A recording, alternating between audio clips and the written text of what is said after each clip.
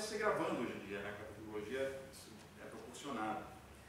É, mas mesmo assim a gravação não tem a precisão que a partitura tem. Que a partitura você consegue decifrar o compositor. A gravação você consegue ouvir, mas você não sabe você imagina se, se o Ernesto Nazaré tivesse gravado as coisas dele, só gravado, não tivesse escrito nada.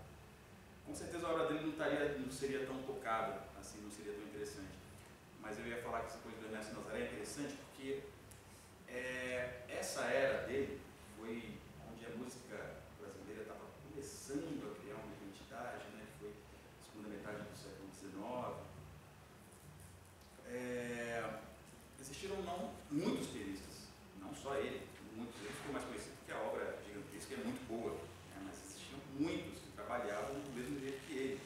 Hoje a gente carinhosamente chama esses pianistas de pianeiros, né? que eram pianistas que trabalhavam, compunham esse tipo de música e trabalhavam em cinemas mudos, trabalhavam em lojas que vendiam partituras, trabalhavam em bailes, que eram uma época que não existia música elétrica, não existia som, não existia rádio, não existia imagem, MP3, internet, nem sonho, depois de 100 anos 150 anos. Enfim, então o piano tinha um papel fundamental na sociedade nessa época. É, só que depois ah, do Ernesto Nazaré, ah, existe um buraco, assim, que é uma história que é muito pouco contada na música brasileira, que foi essa era entre Ernesto Nazaré e a Bossa Nova, que é quase década de 60, década de 50, né? É, e aconteceu muita coisa também nessa época. Existiam muitos outros pianistas que deram continuidade a essa, a essa a música do Ernesto Nazaré, o que ele começou. E a gente chama carinhosamente hoje de pioneiros esses pianistas também. Qual é o problema? Só gravaram. Tem muito, pou, pouquíssima partitura escrita de pianistas como Tia Amélia, como o Maestro Gaó, como Carolina Cardoso de Menezes, o Murário, o Radamés. Radamés até tem um pouco mais. Mas, e o que acontece? Aí a história não é contada, é esquecida. É, então as pessoas tocam muito o Ernesto Nazaré hoje como ele escreveu.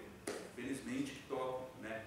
Mas depois dele aconteceu muita coisa. A ideia dessas transcrições é exatamente pegar o que aconteceu depois, com referências não só de piano, da Chamélia, do Jaó, do Radamés, mas também de outros instrumentos. Depois veio o Timbinha, veio o Jacob Pandolim, veio César Camargo Mariano, Roberto Gismonte, juntar tudo e fazer uh, essa releitura das músicas do Ernesto Nazaré, com as influências que eu peguei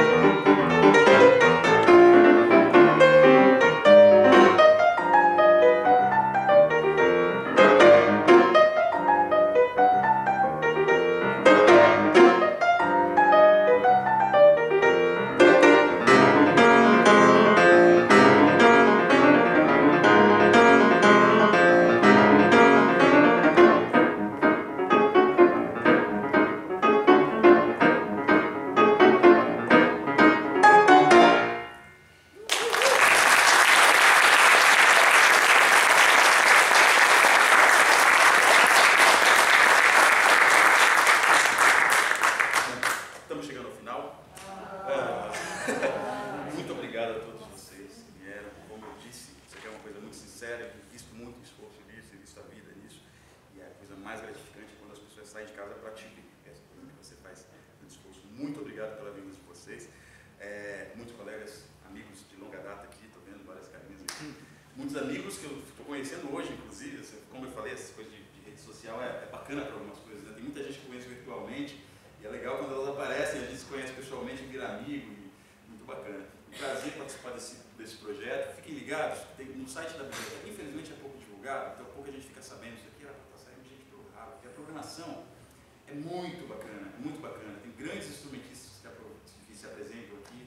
Vai ter o Penese, Alessandro Penese, agora grande violonista. Teve o André Memari, vi o show do Memari, coisa linda. Foi aí que eu, fiquei, que eu descobri o, o, o, projeto. É o segundo ano, tomara que, que, que continue. E queria agradecer ao Suami Júnior, que não está aqui, faz a cuidadoria, mas não está aqui hoje, uh, pelo convite. Queria agradecer toda a equipe do, do, da biblioteca, agradecer lá em cima,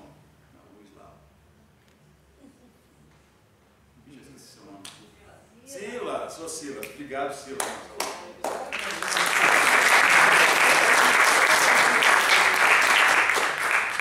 Da produtora não vou esquecer. É Gabi, Gabriela. Obrigado, Gabriela, por receber. A produtora Outra Praia, a produtora, eles estão fazendo toda essa, essa, essa, essa produção desse, desse, criar esse novo livro né, instrumental. É, enfim, queria agradecer toda a